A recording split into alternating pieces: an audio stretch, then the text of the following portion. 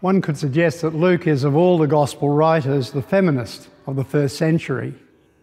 Not only does he tell the story of the birth of Jesus from the perspective of a woman, Mary treasured these things and pondered them in her heart, but Luke often places a woman in a parallel story to one which features a male.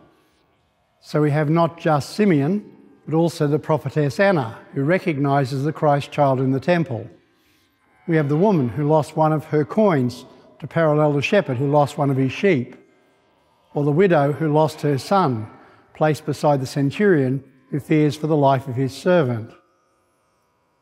Today's gospel which tells of the widow who cannot get justice from a judge but wears him down with her persistence, finds its parallel in the story of the friend who comes at midnight looking for food to share with an unexpected visitor.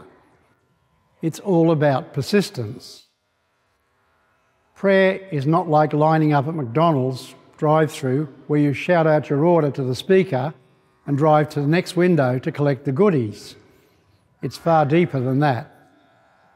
I can remember once meeting with Peter Gagan, who had a lot to do with adult education in this archdiocese for many years, where he announced that he had discovered during the previous week that God had a fifth way of answering prayer.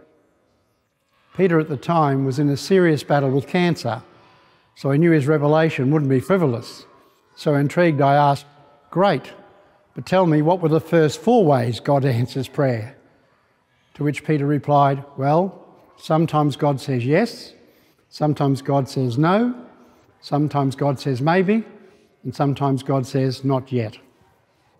I couldn't argue with that, so I then asked, So what's this fifth way that God answers our prayers that you discovered during this week? To which Peter replied, I discovered this week that God sometimes says, Try it this way instead.